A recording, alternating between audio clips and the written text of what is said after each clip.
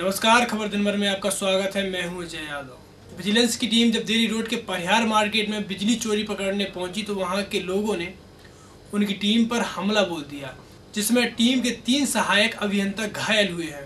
बिजली कंपनी की पाँच सदस्यीय विजिलेंस टीम देरी रोड पर छापामार कार्रवाई करने गई थी, जिसमें देरी रोड स्थित परिहार मार्केट के निवासी बलबीर सिंह के घर में चेकिंग करने के दौरान करीब सात लोगों ने तीन सहायक अभियंताओं में प्रांजल मिश्रा, अरविंद कुमार, नरेंद्र सिंह चौधरी पर हमला बोल दिया। लाठियों से मारपीट करने पर तीनों सहायक अभियंताओं को चोटें आई हैं। इस बात की शिकायत टीम ने सिविल लाइन थाने में की है। विद्युत विभाग की विजिलेंस टीम आज सागर रोड में परिहार मार्केट में मीटर चेकिंग के लिए गए थे।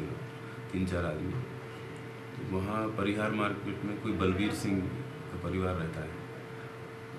उनके घर में चेकिंग तो पूरे मोहल्ले की चेकिंग हुई और उनके घर में भी चेकिंग चल रही थी तो इनके ऊपर मारपीट हुई है तीन चार लोगों के साथ में। कागज़ आगे छीन लिए लिखित कंप्लेन दी गई उसकी जाँच की जा रही है। तो ये विशेष निरीक्षण दल के द्वारा बनाया गया एक टीम था जिसको परिहार मार्केट में आज ड्यूटी लगाई गई थी जिसमें हमारे डी साहब वेंडम श्री गुप्ता साहब के मार्गदर्शन में हम तीन अधिकारी प्लस दो मीटर रीडर के साथ ये चेकिंग लगाई गई थी जिसमें हम लोगों ने लगभग नौ से नौ पंचनामे बनाए। और ये पंचनामा नौवा पंचनामा जैसे ही बन रहा था पंचनामा बनने के बाद उनकी पंचनामा बन गया। पूर्ण रूप से उनके किराएदार के द्वारा साइन करने के बाद ये घटनाएँ घटी। सारे निरीक्षण दल दल के। पाँच लोगों के साथ। पाँचों के साथ। तो यानी चोरी पकड़ने गए थे जब हम लोग? यस।